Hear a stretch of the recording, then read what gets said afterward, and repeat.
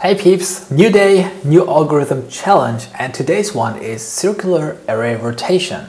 John Watson knows of an operation called a right circular rotation on an array of integers. One rotation operation moves the last array element to the first position and just all remaining elements to the right by one.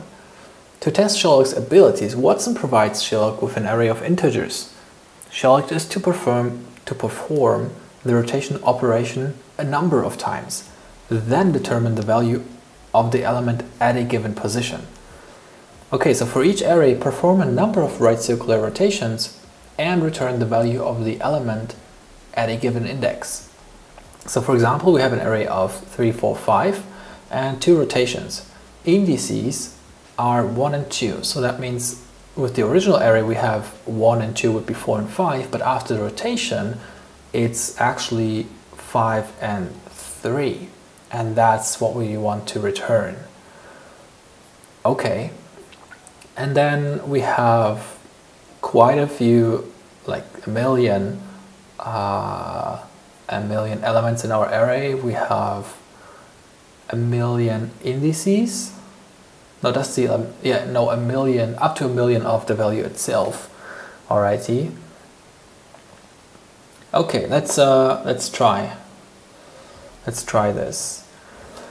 I think the first thing we want to do is what if is what if k is bigger than a count, right? What if k, the rotation, is bigger, which means if we have an array of 10 and the rotation is 11, if we rotate 10 times, we are back at the original array and then we're rotating by 1, which is in reality we're just rotating by 1. In that case, we want to basically say um, the actual rotation is 1 in that case. So then if k is bigger than a count, right? Is it a count or is it a count minus 1? I think it's a count. Yeah, so that means uh, we say a, uh, we say k modulo a count, else it's just k, because then it's smaller. So we got the actual rotation here. I think the starting position of our indice now is moved from the right end of the array by the amount of r to the left, since that's the, basically what we're putting there. So that means we could say the uh, actual index, starting index, whatever you want to call it, is a count minus 1, because that's the, right? uh, and then minus r.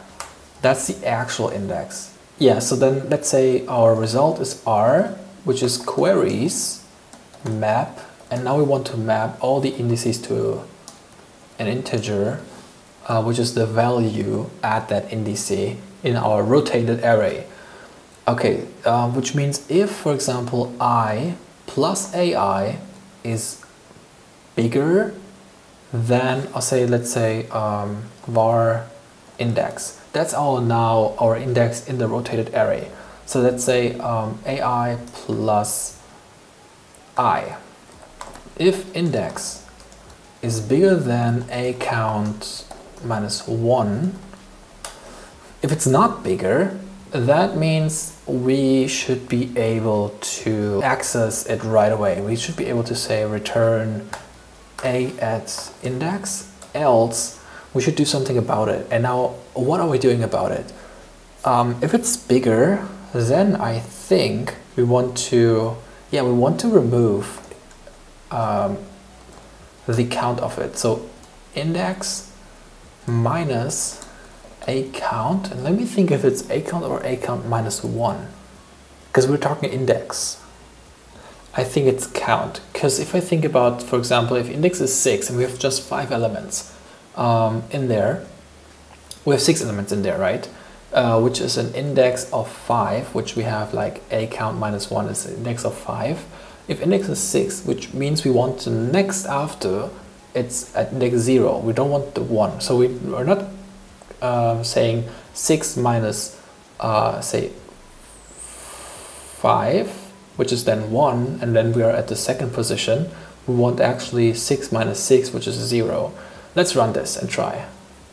var r conflicts with the previous. What am I doing? Okay, um, whoops, I wanted Q. And then in the end, obviously I want to return Q as well as an answer. Uh, we can shorten all of that a little bit make it tighter as well and run it again. Damn, wrong answer. My output is 1, 2, 3 when the expected output is 2, 3, 1. Hmm. I think literally the test case, if I look down here, is the same as here, right? It's the same 3, 2, um, there we go. It's basically that one, which means it basically means the rotation, like we have an array of three, rotation is two, and we have a queries of three, right? So array of three, queries of three, three, and rotation by two. Three, two, three. If we are rotating one, two, three by two, let's see, we have, um, so two is not bigger than a count, which is three, right? Uh, that means that we are stuck with 2.